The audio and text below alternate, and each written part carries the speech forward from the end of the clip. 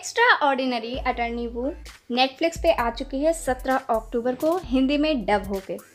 इसके कुल 16 एपिसोड्स हैं और टाइम ड्यूरेशन की अगर बात करें तो पर एपिसोड इसका एक घंटे से लेके एक घंटे बीस मिनट के आसपास का पर एपिसोड का टाइम ड्यूरेशन होगा। और कंटेंट रेटिंग की अगर बात करें तो 9.5 की कंटेंट रेटिंग इसको मिली है 10 में से। अब इस पर बात कर लेते हैं कि आपको ये सीरीज़ क्यों देखनी चाहिए?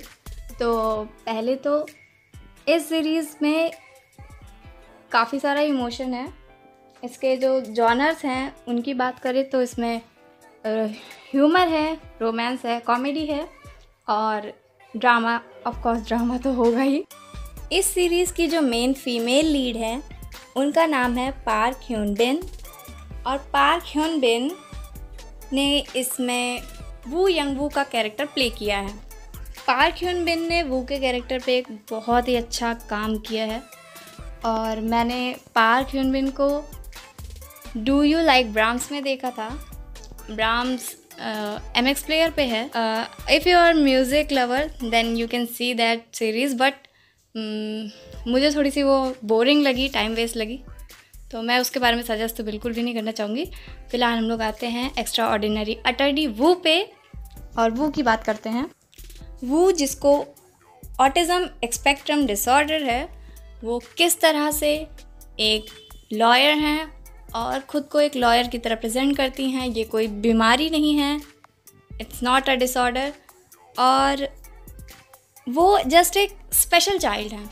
अपने फ्लॉस को पीछे छोड़ के आगे बढ़ते रहना है, कैसे आगे बढ़ते रहना है, इस चीज़ को इस स्टोरी में दिखाया गया है।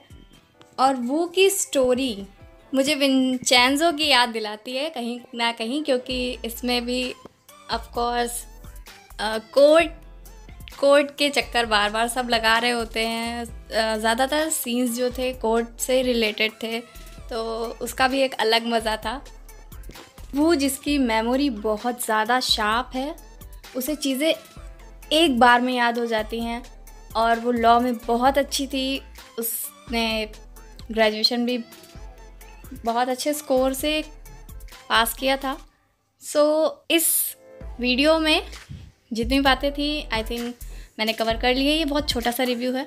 मैं कोशिश करूँगी कि इस सीरीज़ के जो सारे एपिसोड्स हैं उनका एक्सप्लेनेशन वीडियो बनाने के बाद इसका एक बड़ा रिव्यू दूँ। So thanks for watching bye